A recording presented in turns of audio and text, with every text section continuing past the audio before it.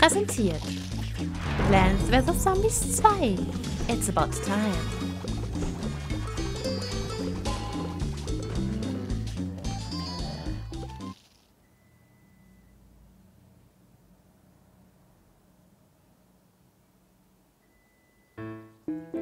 Möchtest du die Grundlagen von Plants vs. Zombies durchspielen? Ich glaube, liebe Leute, das brauchen wir auf meinem Kanal nicht mehr zu tun. Und damit hallo und herzlich willkommen erneut zu Let's Play Plants vs. Zombies 2 It's About Time. Das letzte Mal habe ich aufgrund des massiv negativen Feedbacks zu diesem Spiel und meiner Frustration über den Schwierigkeitsgrad dieses Spiels gesagt, ich habe keinen Bock mehr, ich mache das erstmal nicht mehr, ich spiele es in Ruhe alleine.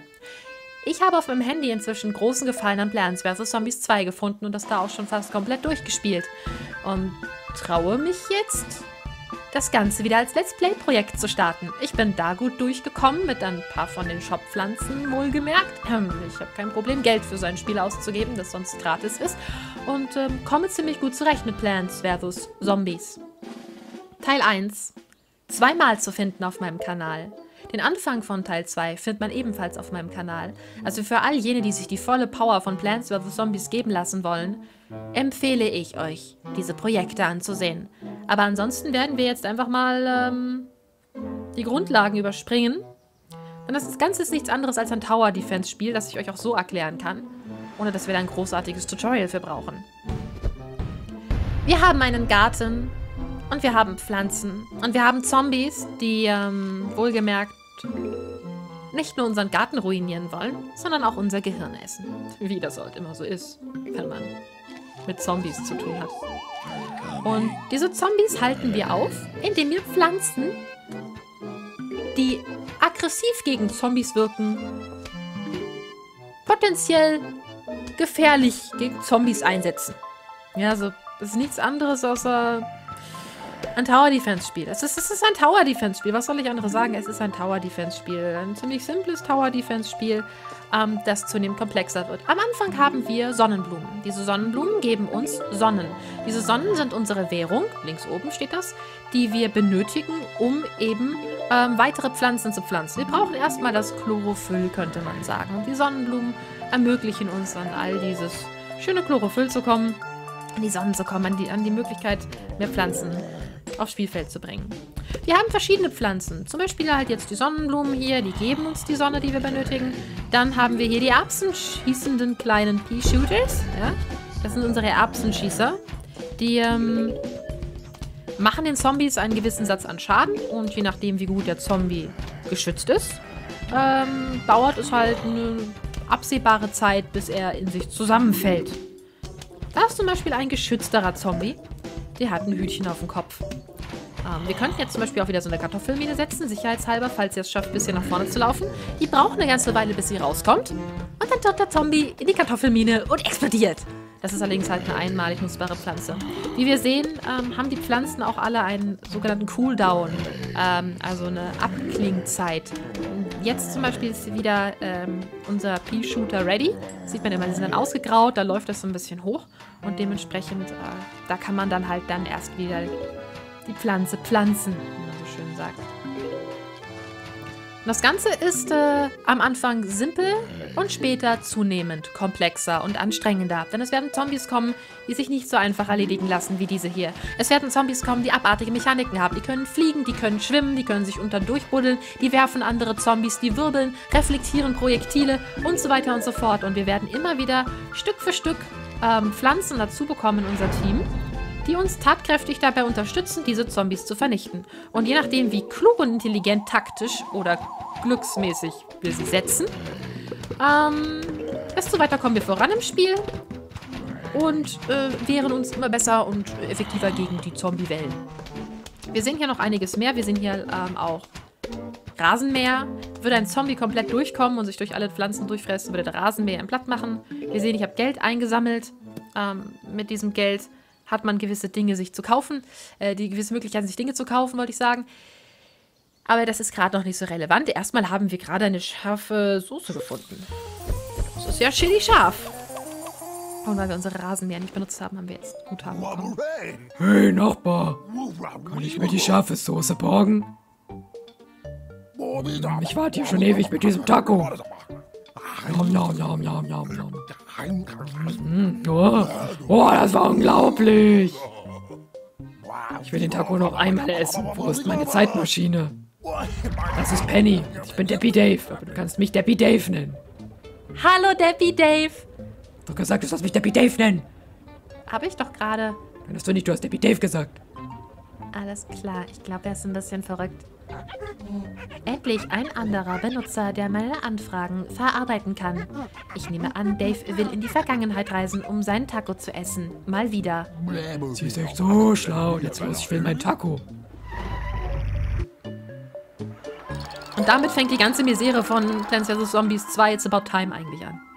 Deppy Dave will seinen Taco nochmal essen. Gut, soll er machen, aber er zieht uns mit hinein. Ins alte Ägypten. Willkommen im alten Ägypten. Ihr Taco wird voraussichtlich in 4500 Jahren fertig sein, mehr oder weniger. Da steckt doch der Himmel, Ich bin sicher, dass mein Taco hier irgendwo ist, aber zuerst. Ganze Pflanzen sind sie da. Oh nein, jetzt müssen wir unsere Pyramide verteidigen. Oh no.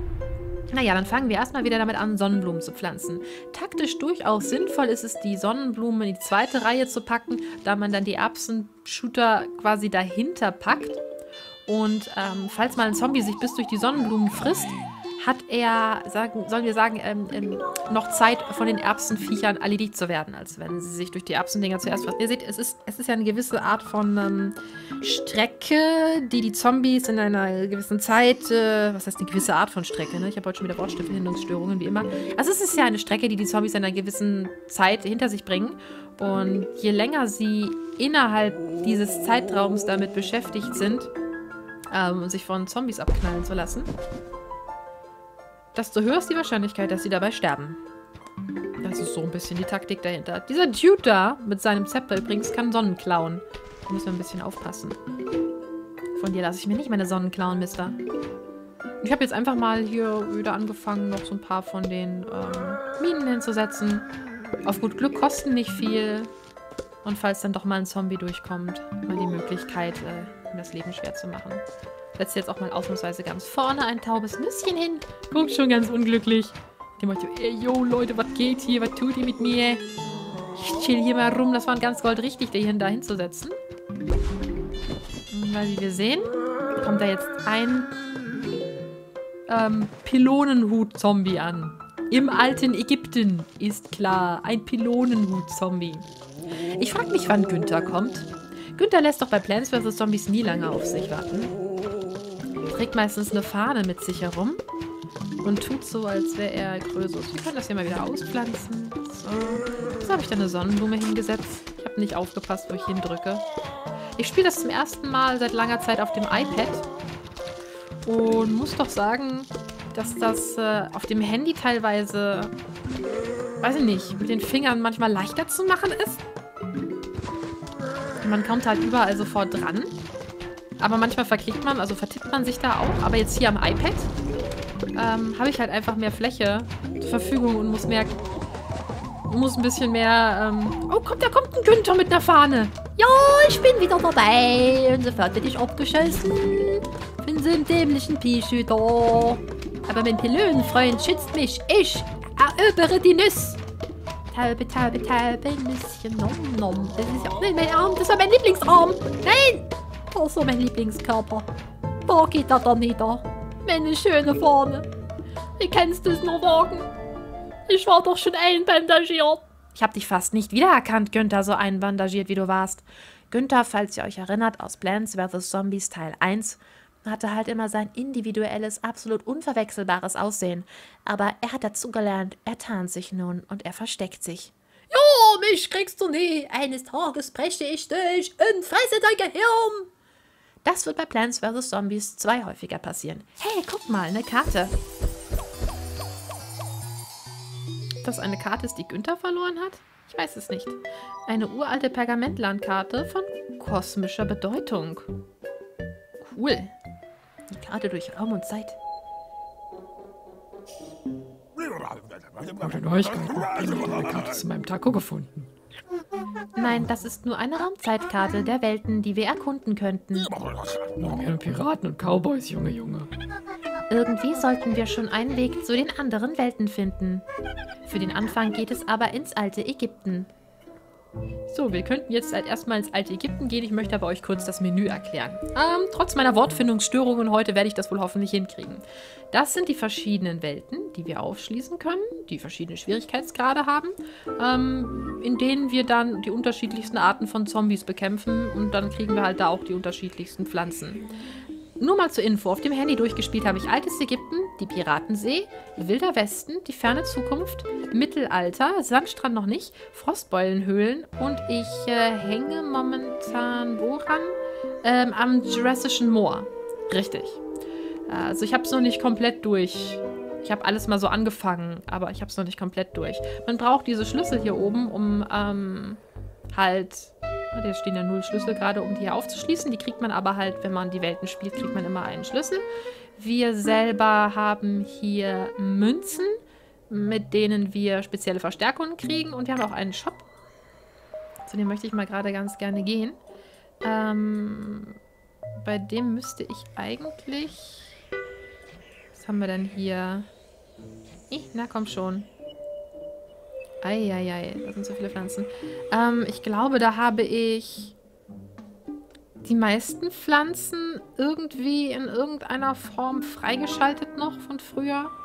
Also der Traubenschuss ist total geil, den hätte ich irgendwie noch voll gerne, aber 6,99 Euro eine Kürbislaterne ist auch voll cool. 6,99 ist verdammt viel Geld. Das werde ich für dieses ähm, Spiel jetzt erstmal nicht hinblättern.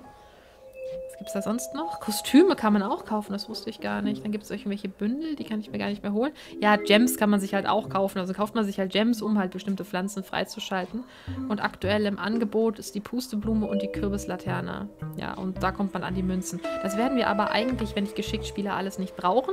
Ein paar Pflanzen habe ich ja vom letzten Mal noch gekauft, als wir angefangen haben, das Ganze zu spielen. Sind die eigentlich in unserem Zombiepedia auch die, die Pflanzen aufgelistet? Ja, genau. Hier unten sehen wir die Pflanzen, die ich besitze. Ähm, manche davon ähm, noch von früher und manche habe ich mal zwischendrin gekauft. Und an den kann ich mich gar nicht mehr dran erinnern. An den auch nicht. Ähm, das, diese goldumrandeten Pflanzen sind halt quasi alles Pflanzen, die man mit Echtgeld oder mit Gem-Währung kaufen kann. Die man auch erspielen kann, so ist es nicht. Und wir haben halt von früher noch ordentlich was. Soll heißen, wir sollten eigentlich ziemlich gut durch ähm, das Spiel kommen. Wir sollten eigentlich ziemlich gut durchs Game kommen, denn diese Shop-Pflanzen sind doch richtig hilfreich. Ist halt wenigstens dann nicht so ganz Try and Error. Und ähm, ich bin zuversichtlich, dass das für uns ausgesprochen lustig werden könnte. Ich mag Tower Defense Spiele und ich bin momentan ganz gut in Übung, also von daher auf die Plätze fertig, los. Oh, das sieht doch wie die Karte zu meinem Taco aus. Um genau zu sein, ist das eine Weltkarte, die uns zu neuen Pflanzen führt und uns hilft. Wow. Benutzer Dave, es gibt wichtigere Dinge als... Los, suche wieder meinem Taco! Das nächste Level wurde freigeschaltet. Na dann auf ins nächste Level. Fängt halt wirklich echt einfach an, wird aber zunehmend krasser. Kriegen wir jetzt nochmal ein paar Infos. Diese Pflanzen sehen hungrig aus. Wenn du doch nur etwas geben könntest. Wir können sie düngen, nicht wahr? Spezialdünger ist reich an Vitaminen und Mineralstoffen. Der Grundbestandteil eines jeden guten Frühstücks. Wir haben jetzt hier unten unsere Spezialdünger-Slots. Erstmal nur drei Stück. Wir kriegen später mehr. Da kann man den Spezialdünger nehmen, gibt den ab Pflanzen und die geht voll ab. Das geht bei nahezu allen Pflanzen, bis auf jenen, die sofort verschwinden. Wenn man sie einsetzt, da muss man wahnsinnig schnell sein und da bin ich nicht sonderlich gut drin.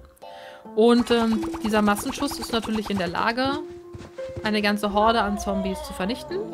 Und einem Eimer-Zombie komplett seinen Eimer runterzuziehen. Da seht ihr aber mal, wie viel Schuss notwendig ist, um einem Eimer-Zombie seinen Eimer vom Kopf zu schießen. Behaltet das gut im Gedächtnis.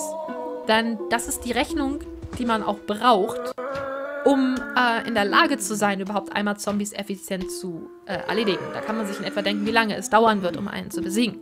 Und die werden später dann auch unser kleinstes Problem sein. Ja, und die grün glitzernden Zombies haben Spezialdünger dabei. Man kann einsammeln, drauf tippt und gut ist es. Pflanzendünger, wo für andere Pflanzen funktioniert. Oh ja, das tut er. Gut, ähm, ich habe schon so viele Slots frei. Ich, ich weiß, ich habe ganz am Anfang mal ein Bündel gekauft. Mit Slots. Aber ich wusste nicht, dass die accountübergreifend sind. Wir können halt jetzt schon andere Pflanzen noch nehmen. Ich weiß gar nicht mehr, was du machst. Du sagst Zombie verlangsamende Sirupfützen. Das ist doch lustig. Und der lässt Zombies schrumpfen da unten. Mm, dann nehmen wir doch aber hier mal das Zunderholz mit. Den kennen wir noch aus Plants vs. Zombies 1. Damit sollten wir eigentlich ganz gut Schaden machen. Und wenn wir mehr Dünger haben wollten, könnten wir jetzt zum Beispiel hier diesen Lotus mitnehmen. Oder wir nehmen einfach mal den Squash mit, weil er auch noch eine ganz gute Schaden, Schadensmöglichkeit äh, direkt auf einen Zombie hat. Ich pflanze jetzt erstmal gerade Sonnen ein. Ähm, also dieser Kürbis da unten, der springt auf den Zombie drauf und macht ihn platt. Das ist ziemlich nützlich. So, da muss ich mich jetzt erstmal gar nicht drum kümmern. Ich kann erstmal meine Sonnenblumen aufbauen. Das ist natürlich ein ziemlich cooler Startvorteil, dass ich ähm, hier schon mehrere Pflanzen besitze und auch die Möglichkeit habe, da mehrere Slots zu nutzen. Wusste ich gar nicht. Aber ich glaube, ich habe wirklich am Anfang mal so ein Bündel gekauft. Ich habe für das Spiel, glaube ich, insgesamt 25 Euro oder sowas mir überlegt, dass ich das ausgeben möchte. Also ich habe... Her. Ich weiß nicht, wie dieses Ding hier funktioniert. Ich packe ihm jetzt das hier davor und ich packe jetzt diesen dahin. Und Der macht dann da so ein klebriges Zeug auf den Boden. Und ebenfalls haut er auf die Zombies mit drauf. Alter, wie der guckt! wie der kleine Mini-Baum guckt! Oh, Günther, wenn du das sehen könntest. Der ist ja sowas von putzig. Ja, ja, natürlich. Niedlicher, kleiner, pütziger Ahorn. Und ich bin ich nicht etwa auch niedlich und pützig. Schaden machen tut er ihm aber, glaube ich, nicht. Er verlangsamt nur. Alles klar, dann werde ich wohl mal meinen Kürbis einsetzen müssen. Aber die Zombies sind erheblich langsamer. Und wenn ein Zombie Schaden nimmt, dann leuchtet er auf. Dementsprechend bin ich mir ziemlich sicher, dass die Dinger die Zombies wirklich nur verlangsamen und keinen Schaden machen.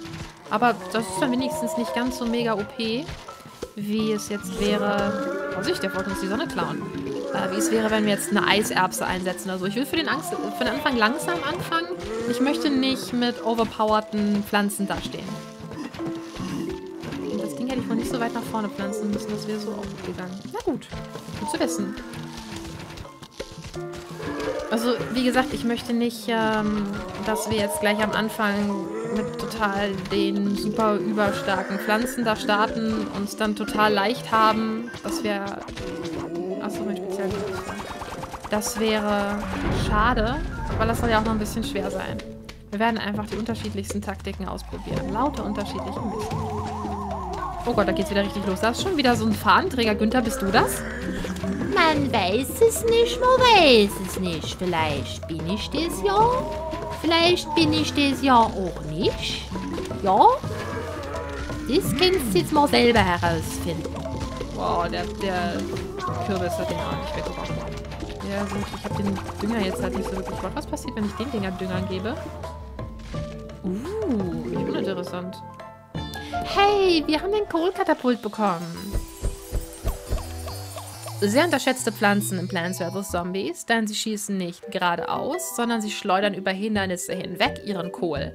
Und ihr werdet in vielen Leveln auf Hindernisse treffen, wo eine Pflanze, die gerade durchschießt, keine Chance mehr hat, einen Zombie zu treffen, weil sie keinen Durchschuss hat. Der Kohlkatapult ignoriert alle Dinge und schießt oben drüber hinweg. Deswegen ist es ein sehr starker Verbündeter. Und auch wenn er ein bisschen langsam ist manchmal, ich persönlich bevorzuge ihn. Ich mag die Erbsen-Shooter nicht so gerne. Ich mag, ich mag den Schulkatapult sehr gerne. Weißt du, was praktisch wäre, wenn man irgendwo mal über Pflanzen und Zombies lesen könnte? Meinst du sowas wie das interaktive Lexikon? Nee, das wird nie funktionieren. Ja, es gibt also jetzt hier das Lexikon, da waren wir ja schon mal drin. Und da können wir uns halt einfach angucken, was die können jetzt hier. Ne, der Kohlkatapult. Wir sehen anhand seines Hintergrunds, woher er ist. Wir sehen auch, ähm, dass wir die hier ebenfalls ähm, freischalten werden. In diesem Ägypten-Level, das sind die Pflanzen, die dazugehören. Hier steht auch, wie viel Schaden er macht. Also ihr seht, er macht genauso viel Schaden und ist genauso schnell wie der Erbsenschießer, nur dass er halt über ähm, Hindernisse hinwegschießt. Das sind alles auch übrigens so, wie soll ich sagen, Taktiken und Dinge, die mir nicht aufgefallen sind, als wir das letzte Mal Plants vs. Zombies 2 gespielt haben. Und die wären essentiell gewesen, aber gut, ich habe es ignoriert und war zu Recht ein bisschen dumm. Oh, neue Missionen verfügbar. Der Holzblock äh, blinkt mich da so an. Was wir hier oben dann sehen, sind Zusatzmissionen. Guck mal, Penny, über meinen Kopf. Da ist ein Reiseklotz. Was sagst du, Reiseklotz? Du bietest Rat, Fortschritt und Belohnung? Dieser Klotz spricht nicht wirklich, Benutzer Dave. Danke, Reiseklotz, was immer du sagst. Ja, das ist jetzt neu. Ähm, wir sammeln auf unserem Weg, stärker und besser zu werden, ähm, Rangpunkte, je nachdem, was wir abschließen. Wir sollen den Bumerang frei äh, spielen, wir müssen so und so viele Pylonen-Zombies besiegen und es werden immer mehr Quests und immer mehr Möglichkeiten. Und dann gibt es auch spezielle Missionen, die man abschließen kann, um ganz viele Gems oder sogar Pflanzen zu bekommen. Und das fand ich, machte das Spiel wesentlich leichter. Ähm, und ich kam damit wesentlich besser klar auf dem Handy, als ich es vorher mit der älteren Version von Plants vs. Zombies 2 äh, kam. Also von daher könnte es sein, dass das jetzt hier unser Durchbruch ist und wir mit diesem Spiel endlich mal gut vorankommen. So, alles klar. Dann ähm, würde ich sagen, starten wir noch in das Level. Bringen es hinter uns. Und gucken mal, was wir dann äh, als nächstes freischalten können beim Reiseklotz. Ich habe etwas Kleingeld gefunden. Halt dich feste vernünftig, Penny. Hier noch bei etwas Knete für dich. Warum? Weil ich verrückt bin. Yay, Geld. Kaufe mit diesen Münzen noch mehr Spezialdünger. Kling. Fülle deine Spezialdüngervorräte für schwere Zeiten auf. Wir werden nicht nur den Spezialdünger brauchen, ähm, wir werden dieses Geld auch noch für ganz andere Dinge benötigen. Und ähm, zwar werden da auf uns Sachen zukommen, ähm, wie unter anderem, ich kann Zombies wegwischen, ich kann sie elektrifizieren, ich kann sie einfrieren, ich kann spezielles Feuer auf sie schicken. Je nachdem, in welchem Level man ist, ist es auch noch ein bisschen anders. Äh, aber die haben wir aktuell noch nicht freigeschaltet und das ist also noch nicht so wichtig. Wir sehen da übrigens Grabsteine.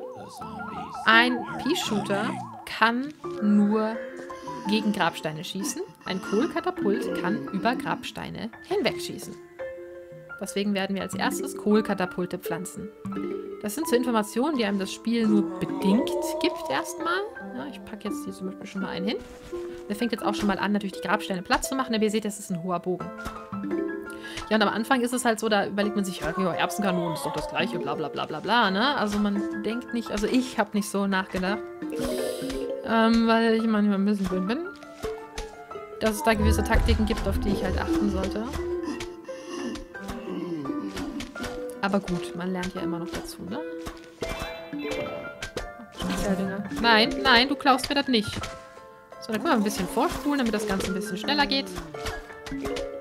Weil ich fange natürlich dann trotzdem an, hier auch Pea-Shooter zu pflanzen. Da haben wir so einen Pylonen-Dude. Den müssen wir vorher noch platt kriegen, hier den Dude. Dann kann der da reinlaufen. Das schneller vorspulen finde ich doch manchmal recht hilfreich, weil es doch dann bei manchen Leveln echt langweilig ist. Oder äh, immer das Gleiche passiert und man sich denkt, ja, toll, komm, hier mal ein bisschen, weil der oben gleich uns sowieso noch was geben wird. Da drauf gehen und unseren Dünger benutzen und wir können auch hier mal unseren Dünger benutzen. Ihr klaut mir jetzt nicht mein Krempel hier. So, jetzt mal wieder ein bisschen auf Stopp Und ich habe jetzt hier diese Feuerstümpfe gepflanzt. Die machen ein bisschen mehr Schaden. Das sind dann halt richtige, ja, Feuerschläge, die dem Gegner Schaden machen. Und die sind halt dahingehend echt nützlich. Ach komm hier, komm, mal ab, Junge. Ähm, dadurch, dass Pflanzen hier durchschießen, halt dann einen extra Effekt geben.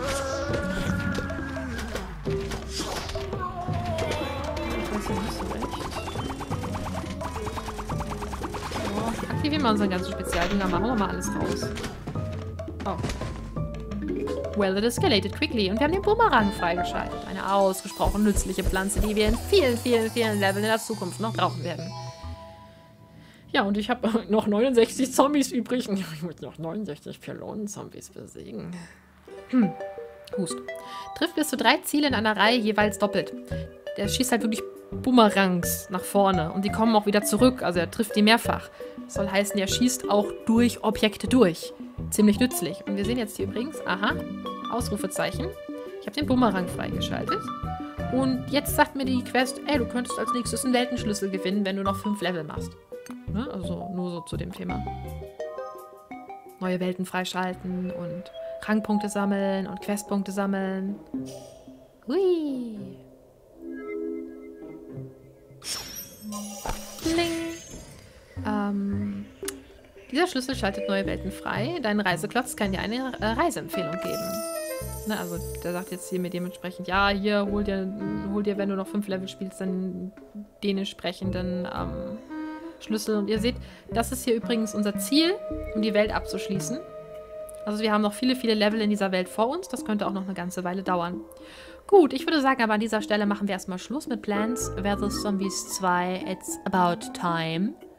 Und das nächste Mal äh, gucken wir uns nochmal an, was es sonst alles gibt. Da oben ist auch noch Vasenbrechen und so. Schalten noch ein paar Pflanzen frei und suchen uns ein paar neue interessante Taktiken raus. Und äh, dann äh, haben wir wohl wieder ein schönes Langzeitprojekt für diesen Kanal.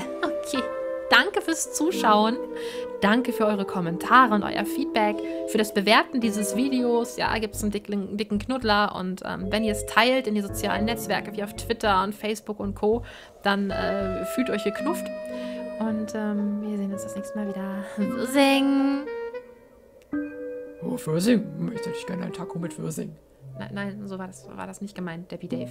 Du sollst mich Debbie Dave nennen, habe ich gesagt.